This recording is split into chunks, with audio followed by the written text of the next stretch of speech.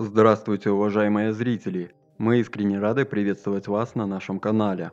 Ежедневно мы рассказываем о непростых судьбах популярных людей и знаменитостей. Все чаще нас сотрясают новости об уходе популярных актеров, певцов режиссеров, тех, кто выходил на сцену ради улыбок собственной публики. Сегодня пришла печальная новость. Ушла из жизни выдающаяся актриса, творческий путь которой оставил яркий след в современном искусстве. Настоящий патриот предан национальной культуре своей страны. Ее многочисленные образы на сцене и в кино снискали всенародную любовь зрителей. Светлая память об этом замечательном человеке всегда будет жить в наших сердцах. Андрей Малахов, Борис Корчевников, Лия Хиджакова уже выразили свои соболезнования родственникам актрисы. Если вы хотите почтить память актрисы, поставьте лайк и напишите слова соболезнования в комментариях. Ей было бы приятно знать, что ее любят.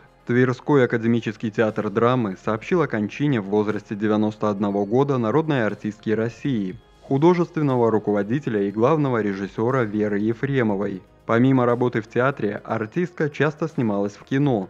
Широкий зритель запомнил ее по таким сериалам, как «Моя прекрасная няня», «Воронины», «Кухня», «Улицы разбитых фонарей», «Мухтар», «Возвращение Мухтара». Вера Ефремова была художественным руководителем и главным режиссером Тверского академического театра драмы на протяжении 46 лет. Она удостоена звания заслуженного деятеля искусств.